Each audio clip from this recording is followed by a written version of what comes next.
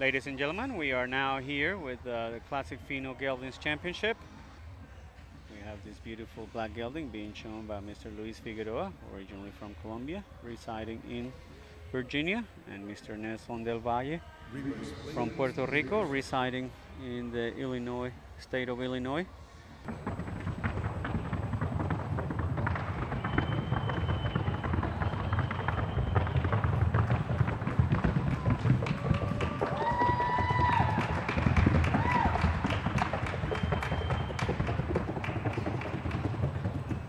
Gelding makes his way into the lineup. In the countries of origin, uh, the classes are for mares and fillies and colts and stallions as they are the breeding stock and standard of our breed.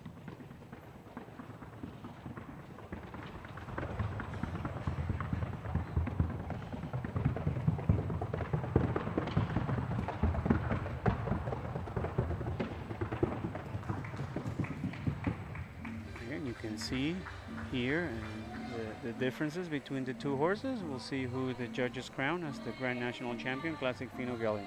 Your Grand National Champion, entry number 489, Rio de Ventura. Scott Rollins and Dante Villarreal of Byron Center, Michigan, the owners.